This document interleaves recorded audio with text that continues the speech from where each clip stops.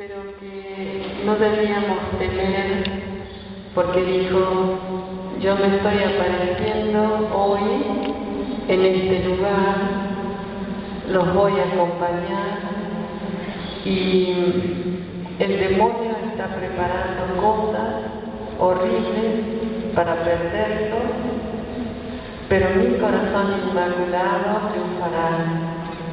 No a poder el enemigo de Dios, que es el demonio, destruir, destruir y destruirla. De manera que la Virgen me había tranquilizado con esas palabras. Y bueno, algunas profecías están dadas en los mensajes, creo que casi todos tienen los libritos de los mensajes y allí hay varios mensajes fuertes que se van cumpliendo al pie de la letra, como lo anunció la Virgen. También es un mensaje eh, de esperanza, de amor. Hay una catequesis de la Santísima Virgen para todos nosotros, que no es otra cosa que cumplir eh, el Santo Evangelio el catecismo de la iglesia. No hay nada nuevo en los mensajes, simplemente que el contenido es maravilloso y dado por la Virgen a través de su boca, va a llegar directamente a nuestro corazón y nos va a abrir nuevamente ese corazón para responder a Dios, para volvernos a Dios, para convertirnos nuevamente y volver a pensar en Él, amarlo.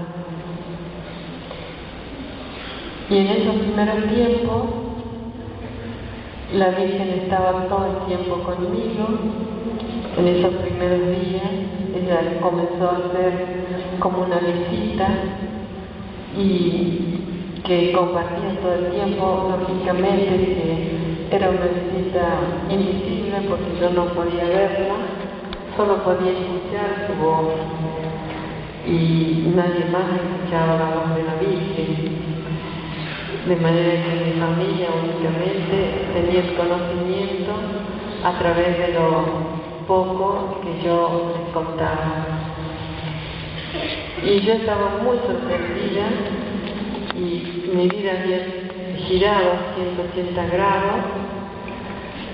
Había comenzado una conversión muy profunda y me sentí inmensamente feliz, adquirí una felicidad que nunca antes había conocido en mi vida a pesar de que siempre he sido una persona muy feliz, porque Dios me ha dado muchas gracias de tener buenos padres, una familia muy linda, una vida tranquila, feliz, común como todo, pero buena. Pero a partir de, de esta aparición, mi vida fue mucho más feliz y cada minuto que pasaba la alegría eh, se hacía más profunda. Y un día, muy poquitos días de todo esto que les estoy contando, eh, eh, vi, mientras estaba rezando, vi una gran luz que bajaba del cielo. Y adentro de esa luz vi una joven, muy joven, como de unos 14 años, muy hermosa, que estaba parada sobre una pequeña nube gris, a pocos centímetros del suelo. Ella estaba muy feliz, muy sonriente, miraba hacia abajo y estaba de pie. Tenía un vestido blanco, purísimo, sobre los hombros tenía un manto azul profundo y sobre la cabeza un velo blanco que cruzaba un costado. Tenía sus manos extendidas hacia abajo, desde donde salían luces purísimas que se derramaban hacia el suelo. Y ella dijo, yo soy la bienaventurada Virgen María, la Madre de Dios. La Virgen era hermosísima, tenía los ojos de un azul mar muy grande y miraba permanentemente hacia abajo y tenía en sus ojos una mirada de asombro. A partir de ese momento yo quedé muy extasiada y durante tres días no pude comer y apenas si podía tragar la saliva. Y había quedado en un estado intermedio entre el cielo y la tierra. Es decir, que no podía subir al cielo con la Virgen ni bajar totalmente a la tierra. Después de estos tres días, volví a la realidad, a la normalidad y continué con mi vida normal, conviviendo con esta parte sobrenatural que Dios estaba mandando. Y los mensajes continuaron. Un día también, estando en oración, vi frente a mí a nuestro Señor Jesucristo. Nuestro Señor Jesucristo se paró frente a mí y no dijo una sola palabra. Jesús miraba a mi corazón y yo sentí realmente un gran enamoramiento. Quedé totalmente enamorada de Jesús. Y a partir de ese momento, Jesús pasó a ser el centro de mi vida. Es decir, que vivía pensando en Él y todo aquello que hacía lo hacía para Jesús y también para su madre. Así continuaban los días.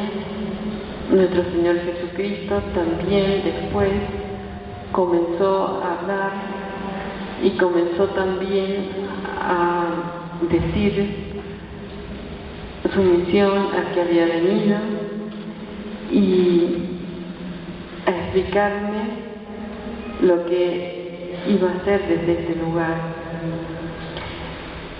La Santísima Virgen y nuestro Señor comenzaron a dictarme los mensajes que iban a ser dados a conocer en el momento que Jesús dijera que se comenzaron a publicar.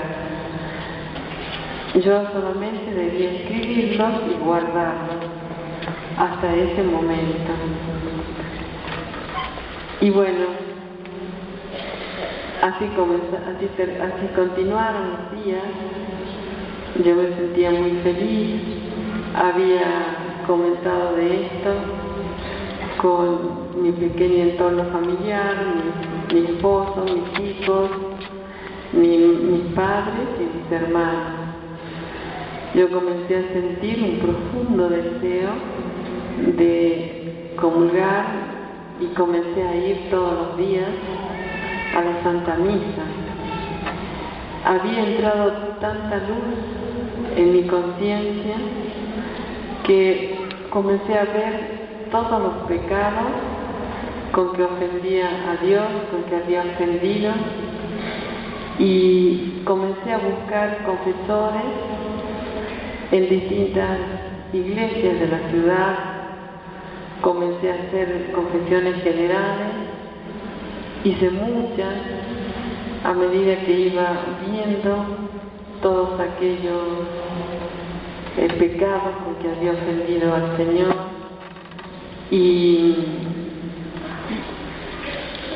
un día yo sentí que había tocado el cielo con las manos y sentí realmente que esas cadenas habían caído de mi cuerpo.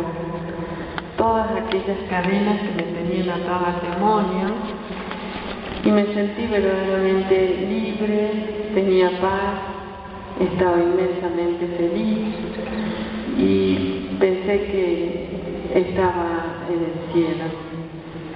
Pero un día mientras rezaba, tuve la visión de Dios Padre y con esta visión vi también mi alma como si fuera el juicio final de mi persona.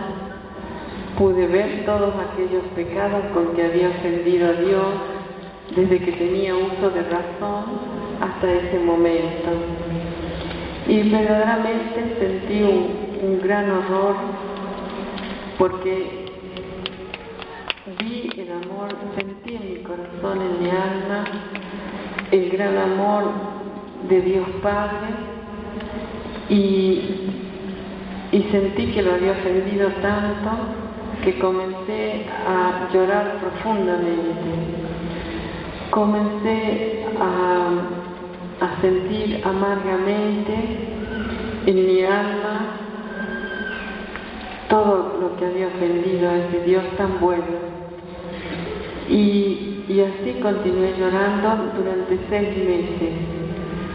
Cada vez que podía, buscaba un lugar ahí, donde yo podía esconderme sin que nadie me viera, para poder llorar amargamente todo el tiempo que pude por haber ofendido tanto a Dios.